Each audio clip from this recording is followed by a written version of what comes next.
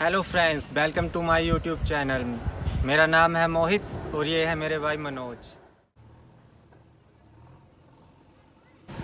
आज हम आपके लिए एक एडवेंचर वीडियो लेके आए हैं गाइस इस टाइम मैं हूँ दौलादार रेंज की खूबसूरत पहाड़ियों के बीच में और इन खूबसूरत पहाड़ियों में एक बहुत ही ब्यूटीफुल सिटी है, जिसका नाम है धर्मशाला और यहाँ पर बहुत ही ज़्यादा टूरिस्ट प्लेसेस हैं और यहाँ पर बहुत ही एडवेंचरफुल प्लेसेस हैं तो उन्हीं में से आज एक टूरिस्ट प्लेसेस में गाइस आपको मैं लेके चलूँगा। तो गाइज़ ये धर्मशाला से नौ किलोमीटर दूर खनियारा में है। और यहाँ पर पैराग्लाइडिंग भी करी जाती है और यहाँ पर एक बहुत ही प्राचीन टेंपल है, जिसका नाम है इंद्रनाग टेंपल। और इसके अलावा एक और ब्यूटीफुल प्लेस है गाइस यहाँ पर, जिसके बारे में बहुत ही कम टूरिस्ट जानते हैं। तो उसके बारे में मैं आपको बताऊँगा नहीं, सीधा दिखाऊँगा। इसलिए वीडियो में मेरे साथ लास्ट तक बने रहें। So come on let's go with me guys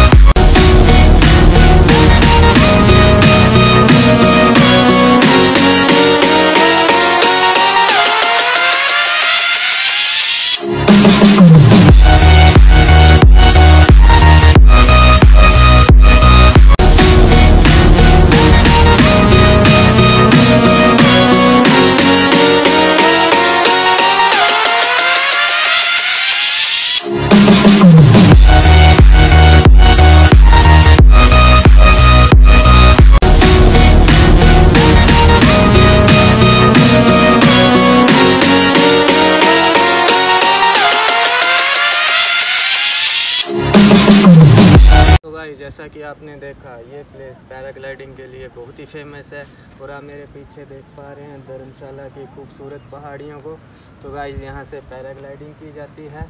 और यहाँ पर पैराग्लाइडिंग 2011 से स्टार्ट हुई थी और यहाँ पर 15 से 20 मिनट की राइड होती है नीचे धर्मशाला तक। और गाइज़ यहाँ पर सबसे बेस्ट मंथ जो है पैराग्लाइडिंग के लिए वो है अक्टूबर और नवंबर मंथ तो गाइज़ अगर आप पैराग्लाइडिंग का शौक़ रखते हैं इंटरेस्ट रखते हैं तो अक्टूबर और नवंबर मंथ में ज़रूर आए और यहाँ पर पैराग्लाइडिंग करें। सो गाइस हम पहुँच गए हैं उस बहुत ही प्राचीन टेंपल में। तो अभी इसके बारे में आपको दिखाऊँगा। पहले, उसके बाद आपको इसके बारे में, मैं आपको इसकी हिस्ट्री पूरी बताऊँगा। तो गाइस कम ऑन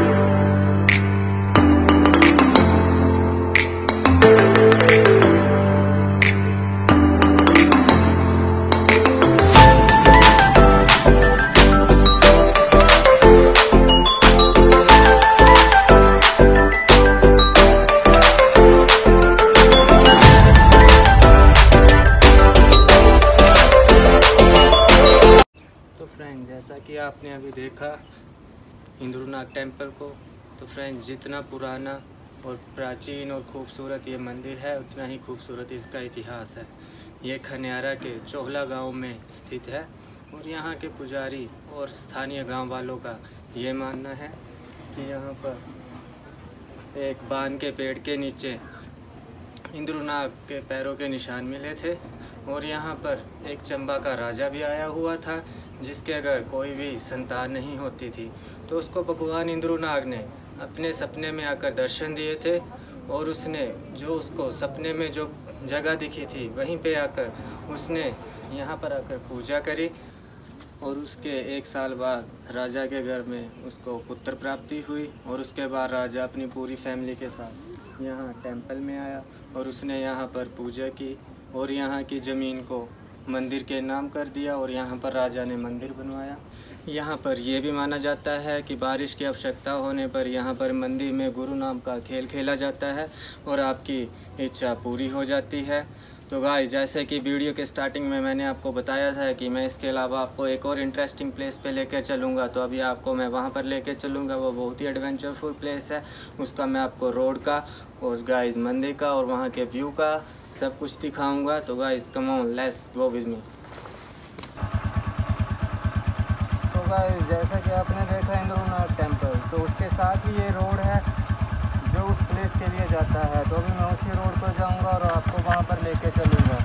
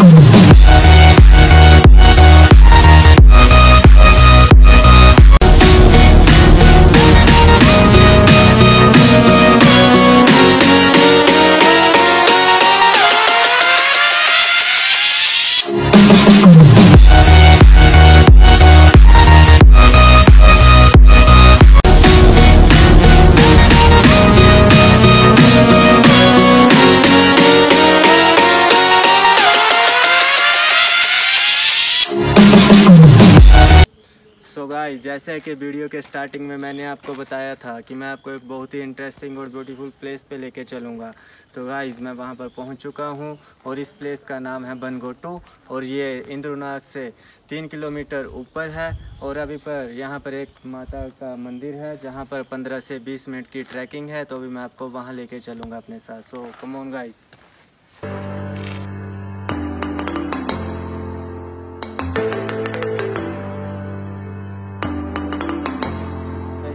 आप देख रहे हैं यहाँ पर। यहाँ पर होटलों का निर्माण भी हो रहा है अभी टूरिस्ट को देखते हुए। तो अगर आप यहाँ पर आते हैं और ना स्टे करना चाहते हैं तो आप यहाँ पर रुक सकते हैं।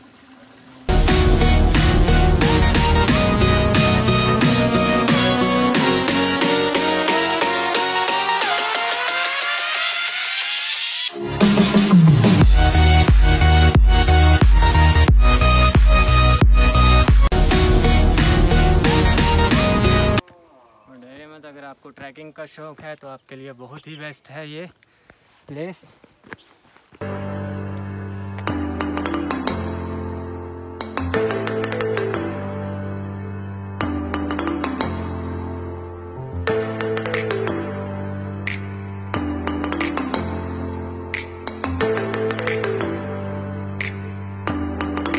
अभी हम पहुँच चुके हैं इस मंदिर में जहाँ के बारे में मैंने आपको बताया था।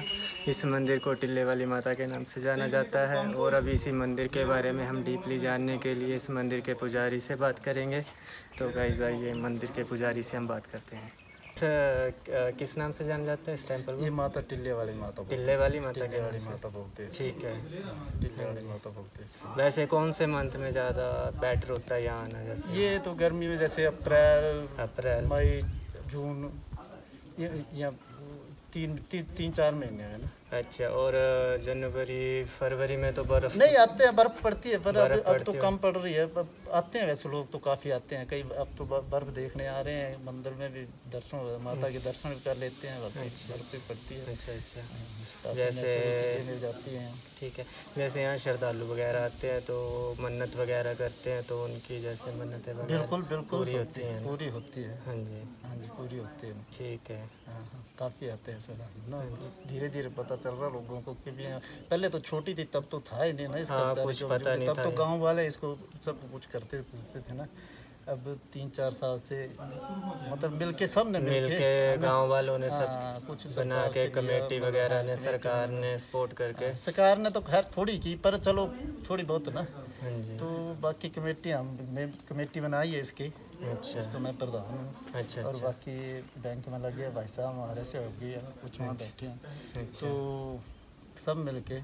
बाकी आप जैसों का भी योगदान रहा सब का? वही है वही है हम भी चाहते हैं कि जैसे कुछ एक जगह है जिनके बारे में टूरिस्ट नहीं जानते हैं इतना। हाँ जी हाँ जी। तो वो जाने और आए और यहाँ की खूबसूरती का मज़ा ले और इस मंदिर के बारे तो में भी जाने। हाँ जी हाँ और ये हिस्टोरिकल प्लेस है। बिल्कुल। और ये बनगोटू गाँव है इसको बोलते हैं बनगोटू। गाँव। हाँ वहाँ की मशहूर मतलब माता है ये अच्छा है ना?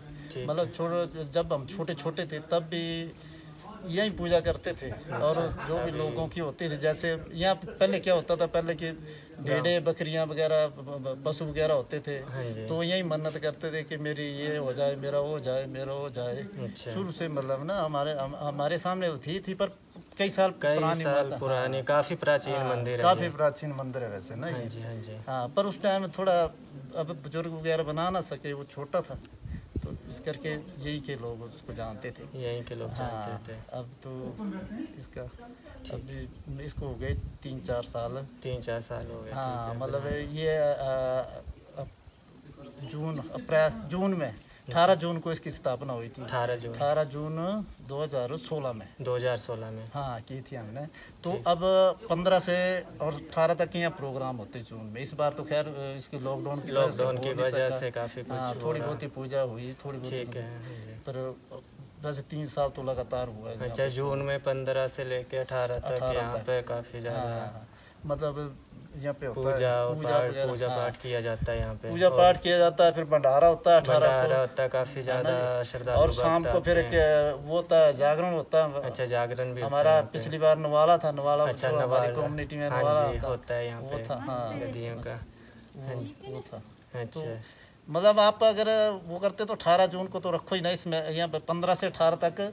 वैसे तीन दिन आ सकते हैं आप। चलो। रहो यहाँ बड़ा अच्छा मतलब आनंद मिलता है यहाँ की जो हवा है ना अगर आप हवाई लेते हैं तो वही अपने शरीर के लिए काफ़ी चलो नेक्स्ट हम पंद्रह से अठारह जून के बीच में ज़रूर आएँगे और ज़रूर आना वीडियो बनाएँगे हाँ, और ज़रूर दिखाएँगे और आपसे ही बात करेंगे नेक्स्ट वीडियो में। ठीक है। तो ठीक है गाइस जैसे कि आपने अभी बात करी मंदिर के पुजारी से तो इस टेंपल के बारे में बताया।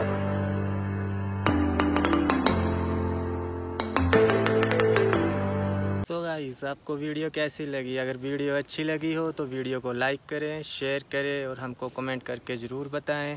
ऐसी ही न्यू एडवेंचर फुर वीडियो लेकर हम आपके लिए आते रहेंगे। अगर अभी तक आपने हमारे चैनल को सब्सक्राइब नहीं करा है तो चैनल को सब्सक्राइब ज़रूर करें और नीचे बेल आइकन ज़रूर दबाएँ, ताकि आने वाली वीडियो को आप सबसे पहले देख पाएँ। हम ऐसी ही न्यू वीडियो के साथ न्यू प्लेस में आपसे जल्द ही मिलेंगे। तब तक के लिए हमारा वेट करें। तब तक के लिए guys bye bye take care